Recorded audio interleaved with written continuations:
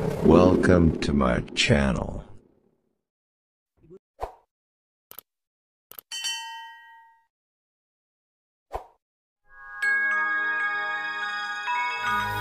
By Cree Cinema.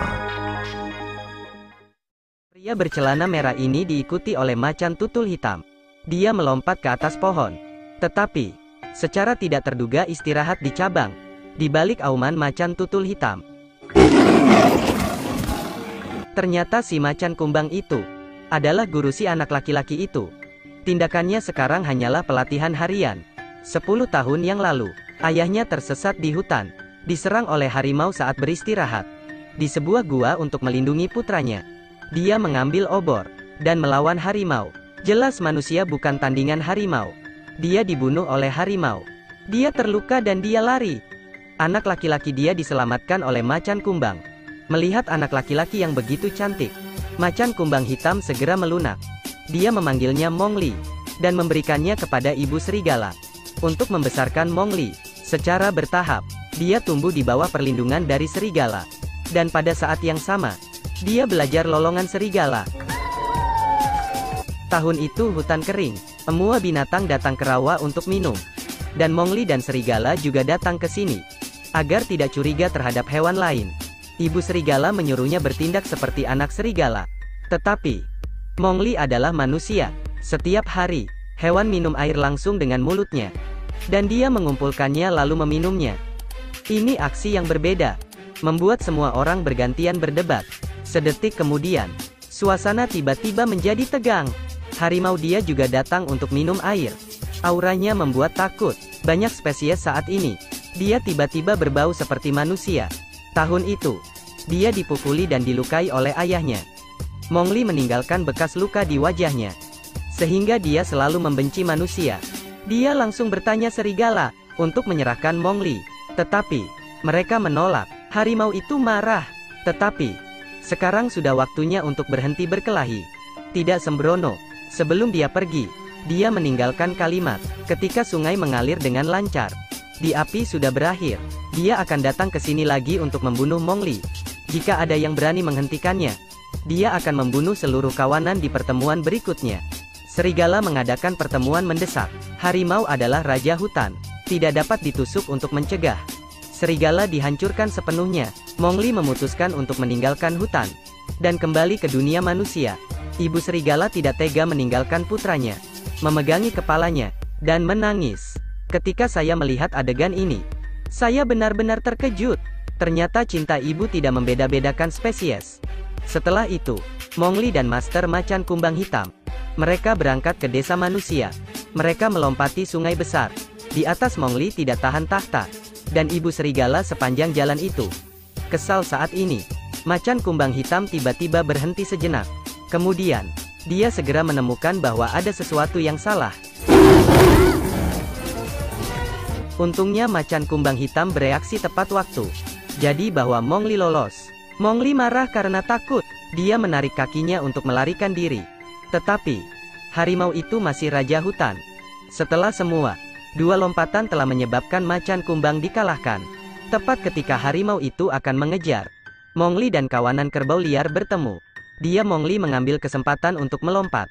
Dan melihatnya, dia tidak punya cara untuk pergi. Ketika kerbau yang menabraknya mati.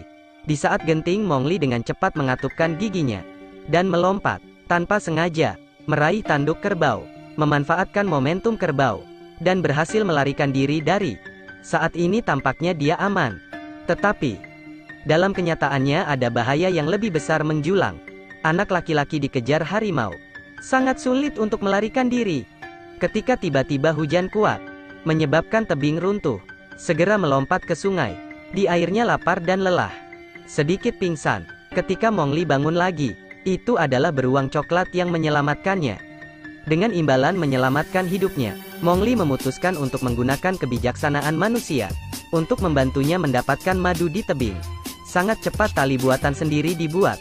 Mongli berdiri di atasnya, menggunakan tongkatnya, menggunakan kakinya, dan lilin lebah jatuh satu demi satu. Beruang di bawah makan dengan sangat baik. Hanya Mongli yang menyedihkan. Disengat lebah, orang yang cerdas, dan gesit, orang yang malas yang membuatnya suka ini. Orang dan beruang menjadi teman dekat. Bersama-sama mereka bermain di air, bernyanyi dan menari dengan sangat gembira. Tiba-tiba, rumput di sebelahnya bergerak. Tiba-tiba, Mongli bersembunyi di balik beruang, berpikir bahwa dia telah mengejarnya. Sedetik kemudian, macan kumbang hitam muncul, dan Mongli sangat senang, membawanya ke gua, dengan senang hati membual kepada tuannya, bahwa dia telah menggunakan kecerdasan manusia, untuk mendapatkan banyak madu. Tetapi tiba-tiba, tuannya marah, dan berpendapat bahwa perilaku Mongli telah merusak keseimbangan ekologi di hutan. Pada malam hari, Auman membangunkan Mongli. Dia berlari keluar untuk melihat. Bayi gajah jatuh ke dalam lubang. Gajah besar ada di luar sana. Tetapi, dia tidak tahu. Mongli yang pintar tiba-tiba memikirkan cara untuk membantu dia dengan cepat berlari pulang. Dapatkan kamu akhirnya hidup, menggunakan bentuk manusia, untuk menyelamatkan bayi gajah dari lubang. Melihat adegan ini, beruang ingin meyakinkan macan kumbang hitam, untuk membiarkan Mongli tetap tinggal. Tetapi, sikap macan kumbang hitam itu sangat tegas. Dia pasti harus kembali ke sisi manusia. Karena, ayah serigala dibunuh oleh harimau. Beruang akhirnya menyadari, keseriusan Kidal dia hanya menyuruh Mongli. Untuk pergi dengan cepat dia tinggal bersamanya hanya untuk mengambil madu. Mongli dengan sedih memanjat pohon. Untuk menghilangkan kesedihannya. Tetapi, pada saat itu seekor monyet datang mengganggunya. Menjauhlah dariku. Sedetik kemudian, sepasang tangan panjang muncul, mengarahkan Mongli ke arah buah yang dicat. Bocah ini sangat bingung. Monyet membawanya ke buah yang dicat. Dia tiba-tiba berdiri diam. Sebuah tangan besar terulur meraih seikat buah. Untuk dia dimasukkan ke dalam mulut. Dan kemudian, dia menghilang ke dalam kegelapan. Mungkin tidak perlu dipikirkan lagi. Sementara Mongli masih bingung. Raja Monyet berbicara. Halo anak laki-laki. Saya Raja Monyet. Dia memaksa Anda untuk datang ke sini. Untuk melakukan transaksi. Yang memaksa Anda untuk menyerahkan lama manusia. Hanya untuk merencanakan. Dia dapat berhasil berevolusi menjadi manusia. Sehingga menguasai hutan hijau. Sampai kemudian. Dia akan menamai Mongli sebagai manusia. Dan menikmati keindahannya. Tetapi, Mongli telah tinggal di hutan sejak dia masih kecil. Tidak tahu cara membuat api sama sekali. Tidak. Saya percaya itu, terus mengatakannya, dan bertindak pada saat yang genting. Beruang datang untuk mengalihkan perhatian monyet, dan macan kumbang hitam menyelinap ke samping, untuk memberi sinyal ke mobil. Awalnya dianggap berhasil melarikan diri, tetapi, ternyata tiba-tiba ditemukan oleh Raja Monyet. Menggeram marah,